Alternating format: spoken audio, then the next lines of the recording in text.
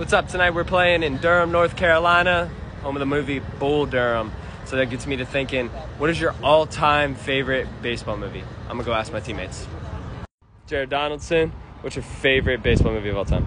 Let's go Benchwarmers. Benchwarmers, top two. Dr. Meadows, what's your all-time favorite baseball movie? Sandlot. Good.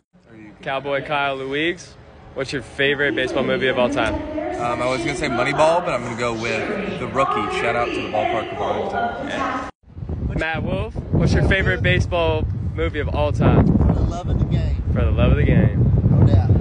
Vincent Chapman, what's your favorite baseball movie of all time? Oh, brother.